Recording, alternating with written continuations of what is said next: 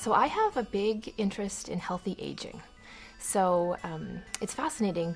Right now, in countries all around the world and, and right here in Canada, the population is getting older and it's getting older really quickly.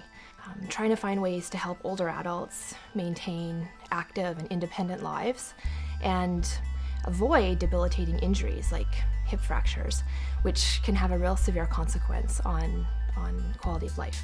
Some of the work I do is related to interventions where I, I study the, the effects of exercise or physical activity on um, the occurrence of, of different um, health outcomes. And some of the work I do is more observational and I just sort of gather large groups of, of older adults and, and watch them and monitor them over time. I think teaching is a real privilege and, and especially at the level of higher education.